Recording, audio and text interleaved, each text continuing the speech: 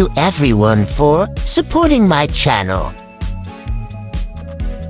Thank you to all the team. Thanks for watching.